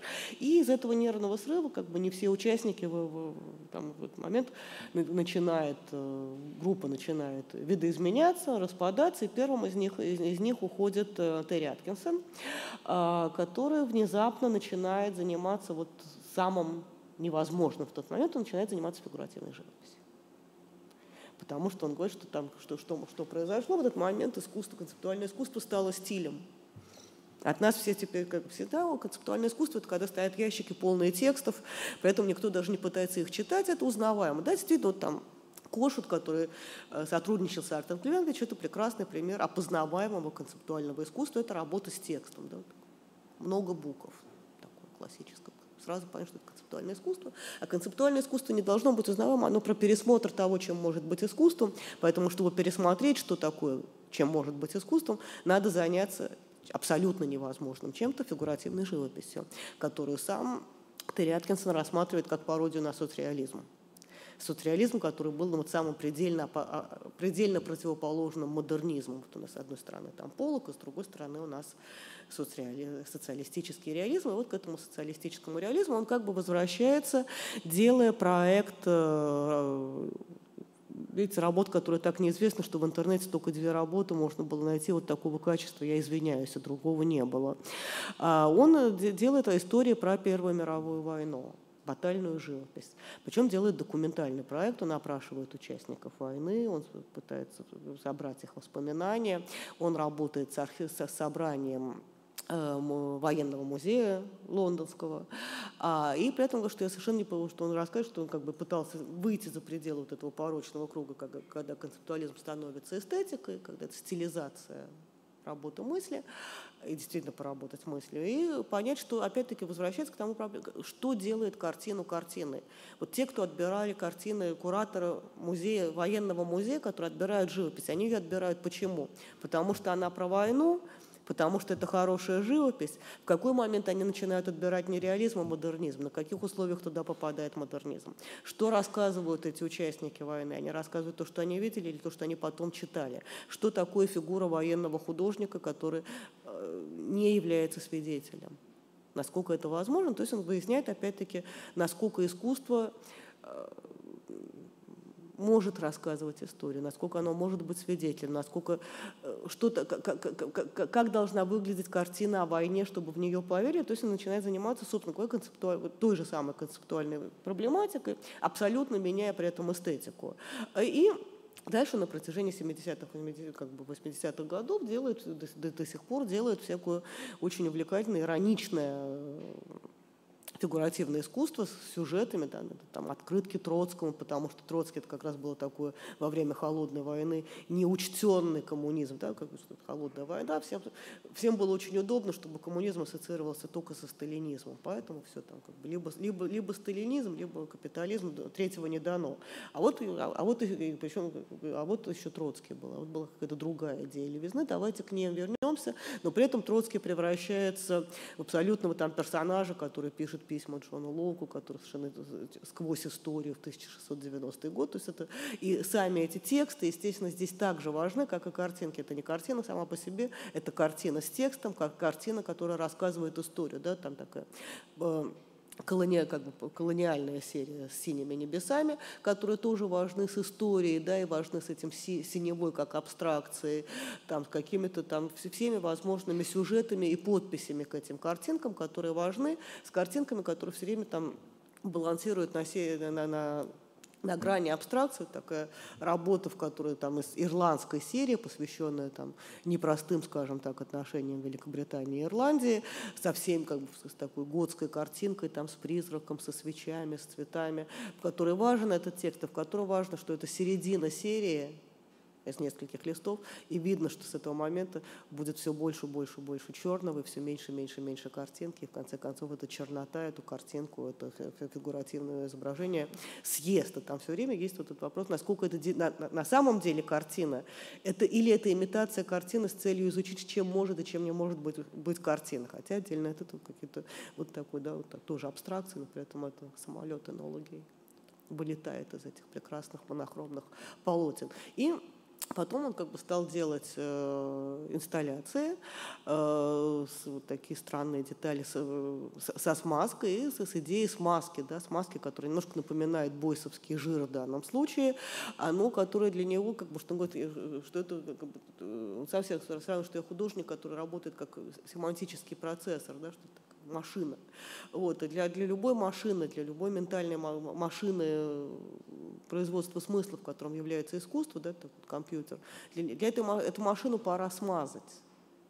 И вот что-то, что, как бы, поэтому, что, что такое это смазка, которая может быть прекрасным, и тоже с огромными текстами, как, каким смазка может быть прекрасным материалом для карьеры, потому что надо смазать нашу карьеру, каким она может быть прекрасным материалом абстрактного искусства, каким она может быть прекрасным материалом соцреализма, потому что ассоциируется с запахом автомеханикой вот, трудового народа, а, при этом, что это нефть, где у нас производится нефть, какие у нас условия труда в, в, в мигрантов в Абу-Даби. То есть абсолютно все, что вокруг это, на это накручивается, вот самой этой тоже такой субстанции. А вот, и опять-таки с продолжением вот этих вот странных таких псевдофигуративных работ. В данном случае это тоже батальная сцена относительно недавняя, где картинки, образы, связанные с войной в заливе э, сопоставлены с образами э, Второй мировой э, немецкий танковый батальон в, Африке. Да, вот, как, бы, что, что, как, как рассказывает себя та и другая война, насколько возможна достоверность этой войны. Вот, ну, как бы, а что касается оставшихся участников Art and они захватывают другое поле деятельности, группа становится англо-американской. Э, американское отделение, в котором участвует как раз э, Кошут, да, у нас главный идеолог американского концептуализма, издает журнал, который называется Fox.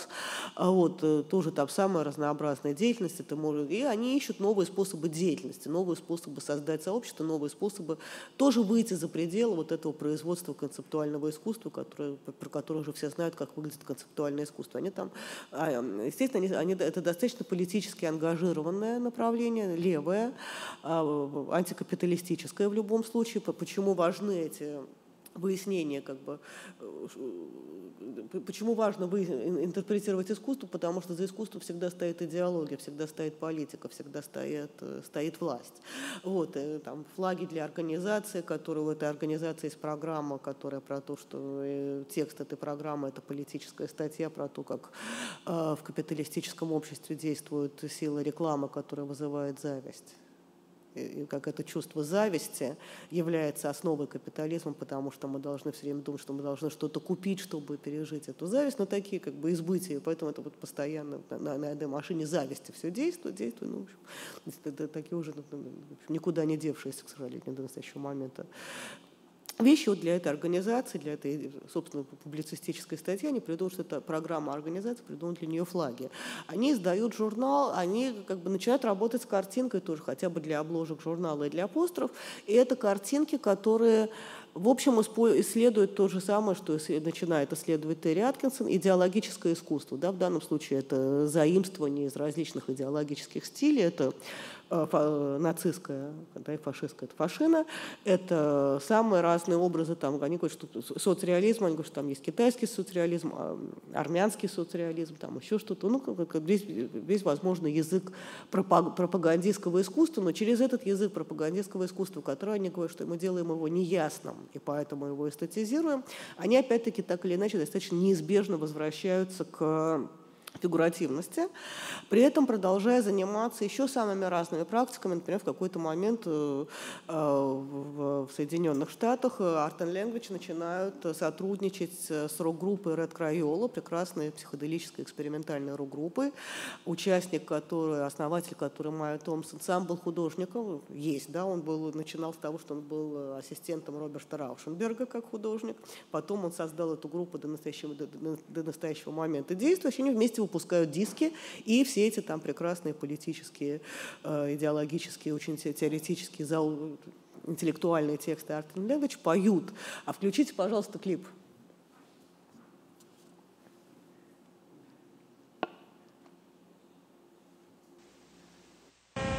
is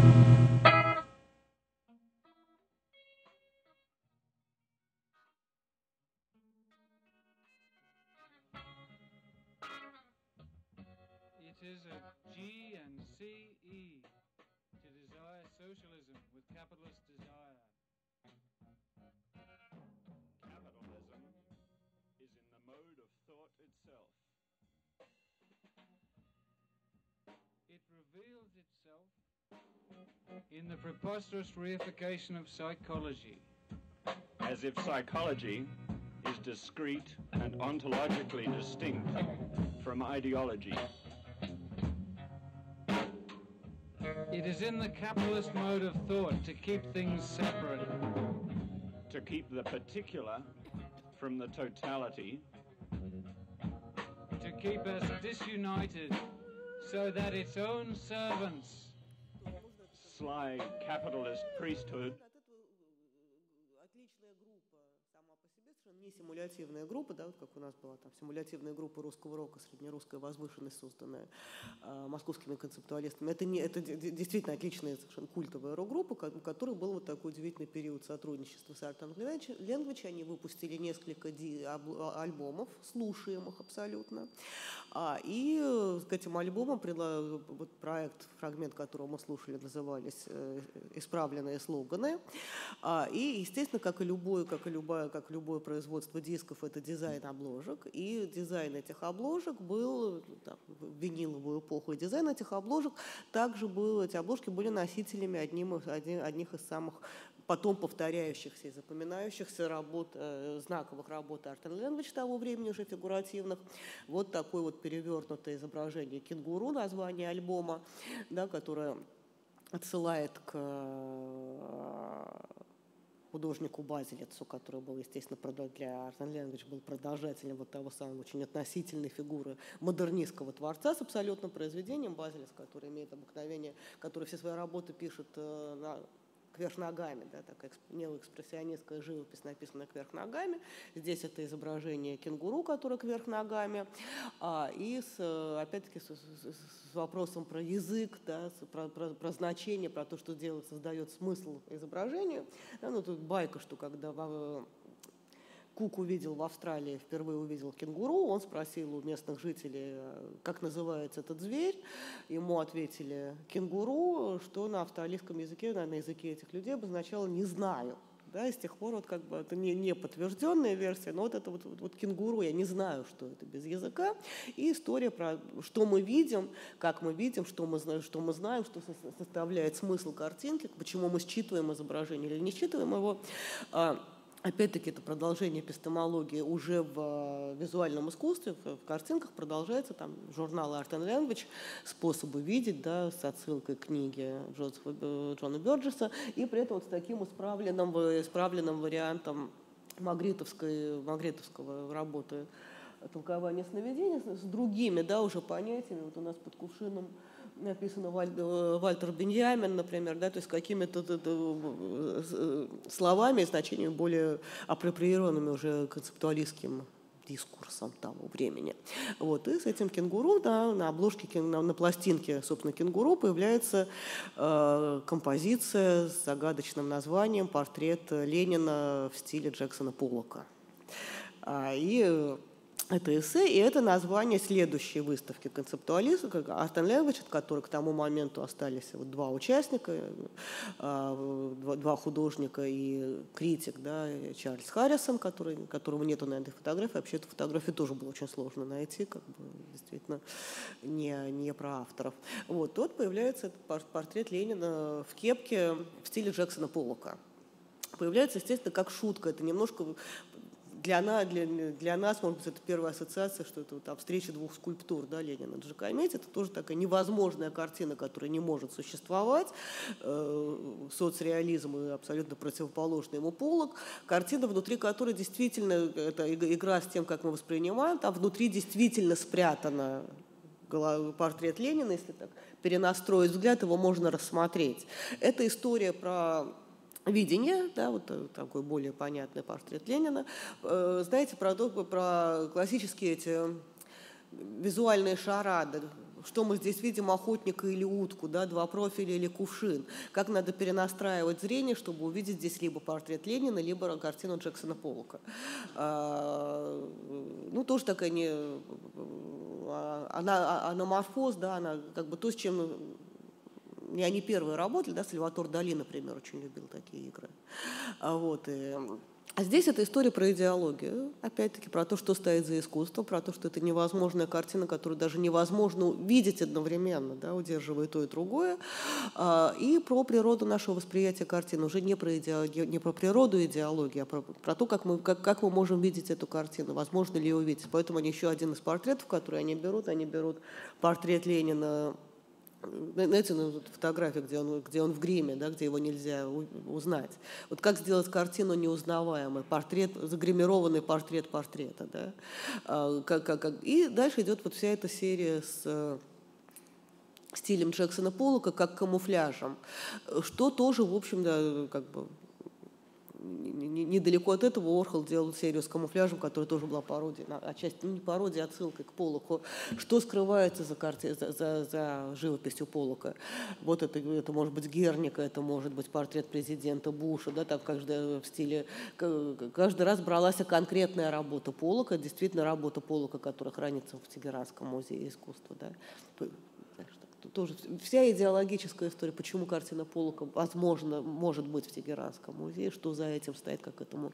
Вот там еще портрет Буша, ну и там с более, так, более понятно, портрет Путина там тоже есть. Вот что такое, как, причем эта история не про политику, это все-таки не политический анекдот, это история про восприятие живописи, потому что в этот момент а, Art Language начинают интересовать, как устроена живопись, и, как, и, где, и куда, наконец, подевался вот тот самый зритель, который благоговеет перед картиной, и который так и не, и не стал зрителем, который с увлечением роется в картотечных ящиках, да, а, но куда-то тоже исчез, насколько еще можно смотреть на картины, насколько картина является картиной. Они занимаются фигу, как, бы, как бы живописью, как инструментом исследования живописи. Все работы, как, бы, как это сделано, они использовали трафареты, там, Ленина, Буша. Потом по этому трафарету закрашивали это изображение в стиле Джексона Поллока, имея в виду каждый раз определенную картину Поллока, да, как, какую-то не, не вообще в стиле Поллока, а вот в стиле именно этой работы Поллока, они были менее узнаваемые. И дальше делали фотокопии. На выставках не было живописи, на выставках были только фотокопии этих работ, собственно говоря, чтобы избежать этого представления, что, что это настоящая картина, и к тому же, если это настоящая живопись, то ее же и продать можно. Да? Это все равно какой-то выход за, за пределы вот эту э, как бы история про то, что Art and Language наконец э, одумались и перестали быть концептуалистами, стали живописцами, что довольно часто им приписывалось, тем более, что это 80-е годы, возвращение к живописи, неоэкспрессионизм, феминизм а, и подъем Артренко да, заодно. То есть, все, все, то есть как, как бы опять возникает интерес к, к картине-картине, да, которую они отыгрывают, они начинают исследовать, чем бы эта картина могла сейчас быть насколько она сейчас возможна. Исследуют, а продолжают, да, вот это портрет и мечта, одна из последних работ Полока, э, недавняя их инсталляция, где есть, э, опять-таки, это текст, но это текст превращен в гирлянду, то есть это, это текст, который сведен к декоративной функции искусства, это текст, который сведен к информации, декорации. Как бы, даже, даже концептуалистский текст может быть декоративным. А полок превращается, полок, псевдополок, расклеенный на стены, вот в таком виде превращается в то, как один из самых, как они сами вспоминают, один, одно из самых эффектных ругательств в адрес Полока, пока он еще не, не стал официальным художником, воплощением свободы творчества в Америке, было апокалиптические обои, да. Вот это и есть апокалиптические обои, это опять возвращается к этим апокалиптическим обоям. Вот. И что, что, спря, что прячется за картиной, да, что прячется за модернизмом, если модернистское полотно – это одна поверхность, да, все происходит на поверхности, а, илю, как, а пространство, да, это все там а, иллюзорное пространство, как, как картина, как окно в мир, это все то, что принадлежит классическому искусству. У нас есть поверхность, но эта поверхность это всего лишь снег, за этим снегом прячется история, прячется наррация, прячется идеология, это, это извините, Сталин там в этом прекрасном импрессионистском снегу где-то притаился. И э, как вообще эта картина может создаваться? Вот такая вот тоже серия истошной живописи с мертвыми женщинами. Эта живопись, эта картина написана кистью, которую держит в зубах художник. Поэтому они получаются такими экспрессионистскими, поэтому эта история, опять-таки, у нас полок, у нас живопись действия. Вот каким мучительным должно быть это действие агрессивное, да, мужское, да, э, по отношению к картине. Да как, как бы как, какое неловко. И в этот момент они пишут, собственно говоря, они делают одну из следующих своих самых знаменитых серий. А, это опять-таки индекс, как и, как, как и картотечные ящики, но это индекс, представляющий мастерскую художника. Мастерскую художника, которая еще в, в индексе на документе была... Друзья, у вас есть охрана?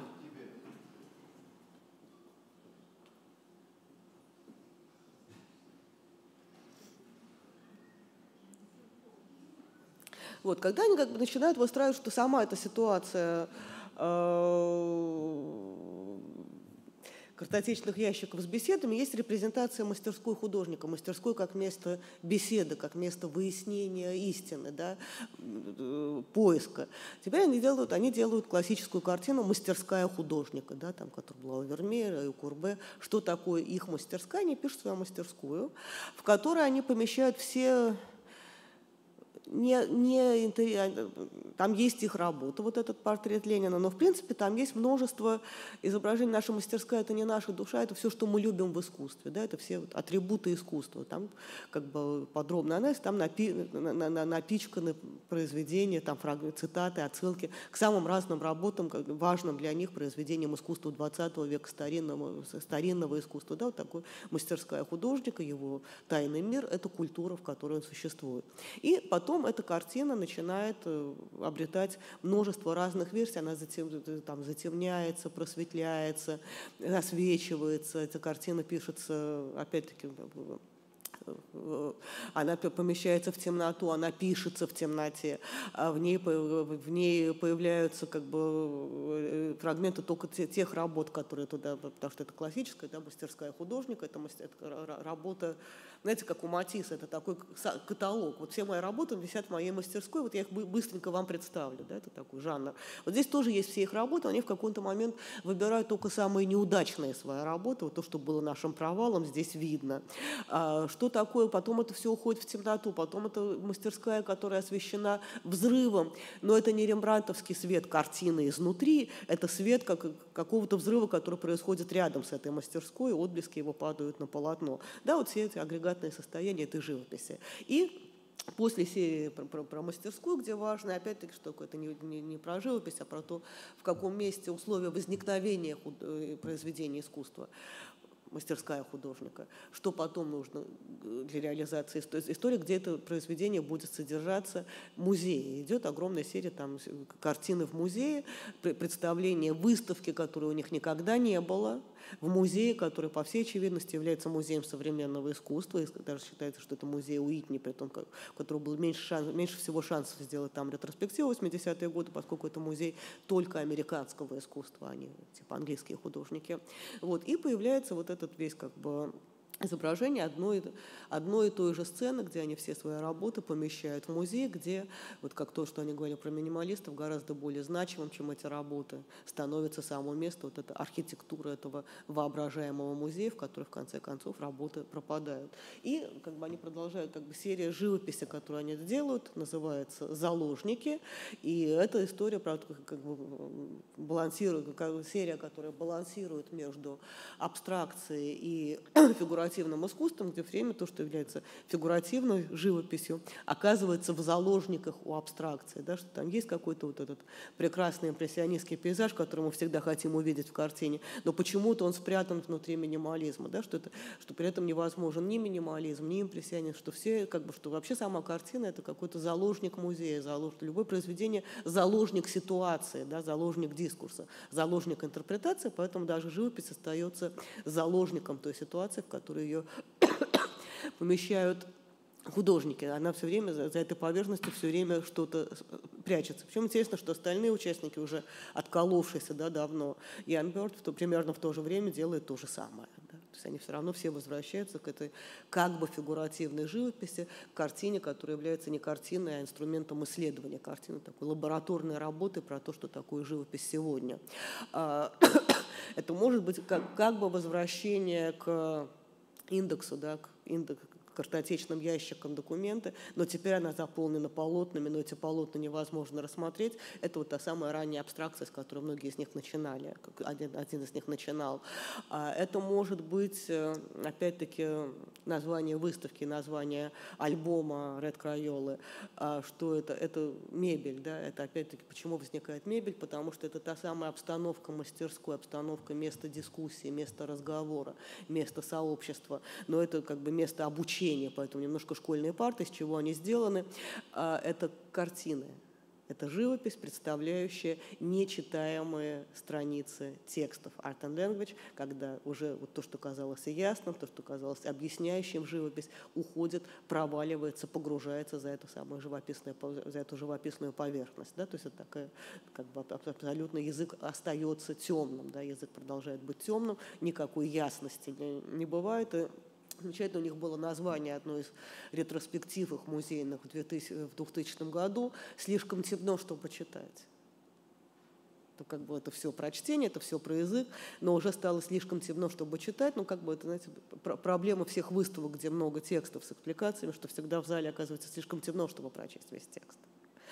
А, и второе, второе название их, еще одно, у них действительно замечательное название ретроспектива, другая ретроспектива называлась ну, как есть вот художник за работой, художник не за работой, художник в тот момент, когда он не работает, потому что здесь нету живописи, да, вот как бы не, и свою живопись они могут передоверить кому-то другому. Вот еще, еще один вариант картины, это все тот же э, вариация, помню, на всю ту же тему мастерской художника, но это картина, сделанная актерами. Название абсолютно соответствует действительности. С какого-то масс определенного момента Art and Language э, сотрудничает не только с рок-группой Red Crayola, а еще сотрудничает с театром, который называется Бар Джексона Поллока. Причем действительно как бы, там, и такой бар существует, и такой театр существует, как бы они его встречают, понимают, что как замечательно, и э, они делают совместные перформансы. В чем заключается перформанс? В основном в том, что актеры этого театра произносят, разыгрывают тексты and language, да, вот эту ситуацию. Дискуссии, разговора, диалога, беседы, вот то, что хотели, то, что хотели изначально and language хотели принести в искусство, где зритель должен оказаться не в ситуации, когда он должен стоять перед картиной и созерцать ее, а когда есть некая дискуссия, разговор, в который он может включиться теоретически, да, в котором он уже может быть участником. Здесь уже никто не может быть участником, разговор разыгрывается как театральная пьеса, и те же самые актеры этого театра делали их же по инструкциям художников, делали вот эту вот самую картину, написанную актерами. Да. Э, совершенно замечательно. Наконец, картину Art and Language написала, написала группа, которая называется Джексон Поллок. Я думаю, за, за название. Вот. И все эти сопоставления смыслов, часть выставки, да, там, а, происхождение мира Курбе а, и изображение дуба, вот два символа плодородия. Да, дуб, дуб всегда был символом плодородия, как и то, и другое картинка конце концов, в каком они могут существовать контексте. Наши, их старые картины становятся декоративными картинами, даже зеркало нарисовано, написано как живопись. И как бы то, что остается, вот эти вот стулья, стулья, стулья, стулья, стулья как приглашение к разговору, стулья как приглашение к созерцанию э, самых разных картин в самых разных стилях, э, стулья, которые остаются да, вот в этой ситуации стулья, на которые нельзя сесть, потому что стулья, которые сделаны из живописи, которые уже и не картина, и для созерцания, и не стул, на который можно присесть в состоянии, чтобы побеседовать и поговорить перевести это искусство в состояние разговора и дискурса, потому что, собственно говоря, это некая утрата сообщества и утрата, в котором это все возможно, да, такие пустые стулья, немножко в стиле пьесы Жены Янеско. Спасибо.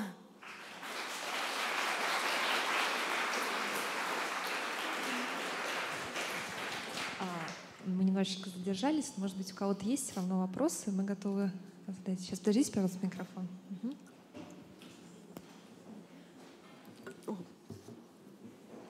У кого был вопрос? Ирина, спасибо за лекцию. А, во многих странах, в том числе во многих штатах, существуют законы, которые запрещают скрывать э, лицо свое. Есть ли в связи с этим сложности? Простите? Э, существуют законы, которые э, запрещают скрывать свое лицо во многих странах. Вот есть ли какие-то сложности у Gorilla Girls и подобных коллективов в связи с этим? Вы знаете, я не, никогда об этом не слышала, но А что значит запрещается скрывать лицо? А актер на сцене, который в маске выступает? А группа The Residents? В общественных Да. местах имеется в виду. Театр тоже общественное место. Я думаю, что там, я не думаю, что у них когда-то были с этим проблемы. Да, это. Фотографироваться на паспорт, наверное, нельзя в такой маске. а так. все, вопросов больше нет. А, благодарим вас за внимание. Есть еще вопрос, да? Прошу прощения. Э, А, да, здравствуйте. Спасибо большое за лекцию. Было интересно послушать. Я бы хотела узнать насчет сотрудничества Raid Cranes и э, группы Art and Language. Вот какая была идея их совместного проекта и были ли заложены э, какой-то смысл в их тексты? Каков- Какого проекта? Ну вот Red Cranes и Art and Language уже говорили, Red что они Crayola, э, тексты были, все тексты были тексты Art and Language, которые просто пелись. э, Я думаю, что там идея была другого способа существования искусства, да, что это не обязательно должна быть музейная выставка, но и не обязательно должна быть э, картотечные ящики в галерее. Это ровно наоборот, это может, а вдруг это может быть рок-музыка, да, что эти все тексты можно спеть. Я думаю, что это интерес просто самой группы, которая очень хорошая, экспериментальная, которая, и которой это было интересно. Ну, там, 70-е годы в музыке много чего интересного происходило, почему бы и не такое. Так. А, еще вопросы? Все. благодарим вас за внимание. Вот, и будем с удовольствием вас ждать на следующей лекции, которая пройдет 5 октября в лектории музея. Спасибо большое.